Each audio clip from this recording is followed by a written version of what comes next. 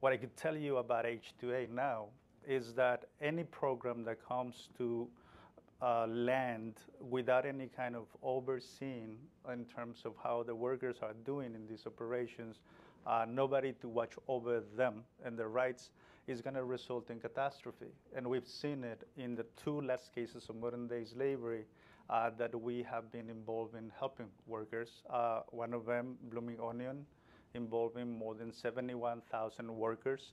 Then it is in a span of about eight years since we received the first call from one of them, and because of the lack of access into these operations, uh, it, it's a very difficult place to investigate it took, you know, uh, several years, uh, and it impacted uh, this amount of uh, workers that resulted in profits of money laundering from this criminal organization of more than $200 million.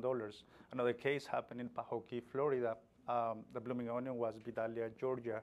and in this case, they were selling the watermelons to Kroger uh, as a supermarket. Uh, that was the first time that that connection between the market and these horrible conditions came to light.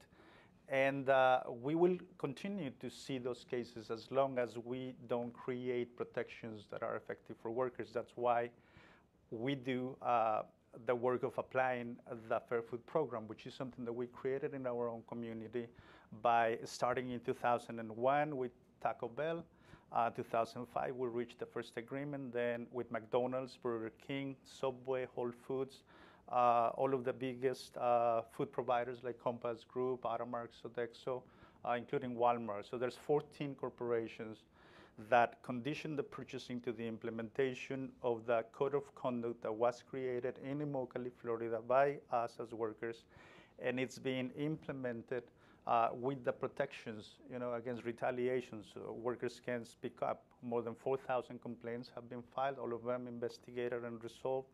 Uh, 10 problems identified in that process of investigation, and that uh, has resulted in the creation of a new uh, reality for workers in, I would say, 11 states uh, uh, or 10 states at, at, in the lapse of, you know, this past 12 years now. Uh, it's going to be 12 years uh, since we started to implement this. So, you know, there, uh, workers under H2A um, working on these farms have guarantee uh, rights that they can, you know, assert by simply calling the hotline.